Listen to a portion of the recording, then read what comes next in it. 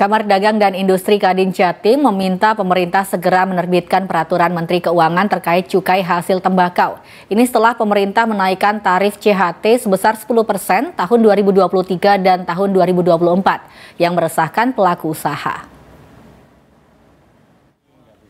Ketua Kadin Jatim Adi Dwi Putranto menyebut ketidakjelasan peraturan tarif cukai menjadi masalah tambahan yang dihadapi pelaku usaha yang selama ini terbebani kenaikan cukai. Tidak kunjung diterbitkannya PMK menjadi masalah dan memiliki imbas yang signifikan terhadap keseluruhan rantai pasok produk tembakau. Kita kondisinya di uh, Indonesia khususnya ini kan perlu perlu koordinasi, perlu percepatan-percepatan sehingga industri ini nggak nggak sempat terganggu dengan situasi yang uh, krisis ekonomi global ini. Pemerintah juga harus cepat untuk menyikapi ini. Ini penting karena uh, uh, kita untuk menyusun perencanaan-perencanaan produksi ke depan. Sementara itu, Ketua Gabungan Perusahaan Rokok Gapero Jatim, Sulami Bahar meminta agar pemerintah segera menertibkan aturan yang transparan dan jelas yang bisa mendukung pelaku usaha.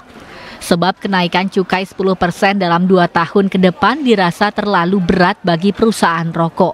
Bahkan bisa menyebabkan matinya satu persatu perusahaan rokok akibat kalah bersaing dengan rokok ilegal.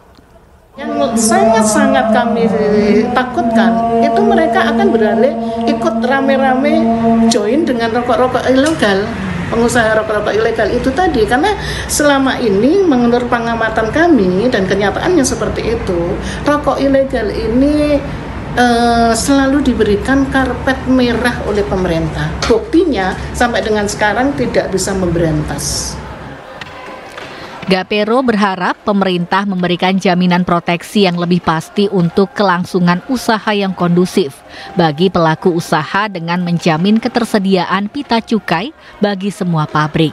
Atiko Hasan, JTV.